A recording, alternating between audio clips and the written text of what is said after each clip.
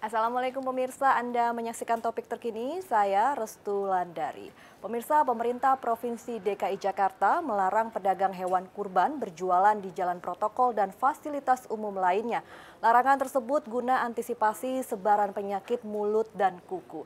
Sudah ada tim Antv Wisnu Tresna dan Diana Karisma di tempat penjualan hewan kurban di kawasan Tanah Abang, Jakarta Pusat. Silahkan Nunu laporannya. Baik, terima kasih. Pemirsa, jelang Hari Raya Idul Adha, para pedagang hewan kurban sudah mulai bermunculan. Seperti di tempat saya sedang berada saat ini, yaitu di Jalan Sabeni, Tanah Abang, Jakarta Pusat.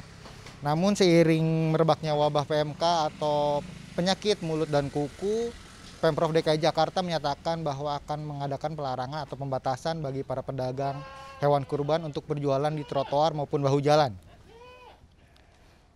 Menanggapi itu, para pedagang yang sempat kami temui mengatakan bahwa memang sudah ada himbauan untuk tidak berjualan, tetapi mereka tidak punya pilihan lain untuk mencari tempat berjualan.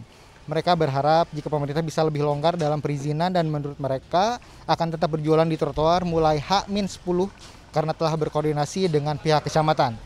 Para pedagang pun memastikan bahwa hewan yang dijual di sini sudah melewati pemeriksaan dan dinyatakan sehat. Dari data yang kami peroleh per 23 Juni 2022 jumlah hewan ternak yang terjangkit PMK saat ini sebanyak 230 ribu lebih. Selain sapi, PMK juga sudah terdeteksi mulai menyerang ternak kerbau, kambing, domba, dan babi.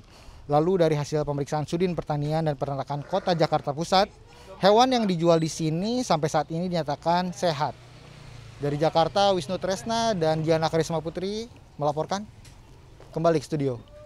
Terima kasih Nunu atas laporannya. Selamat bertugas kembali. Ya pemirsa, demikian topik terkini untuk hari ini. Ayo pakai masker, ayo cepat vaksin. Saya Rusulan dari Wassalamualaikum.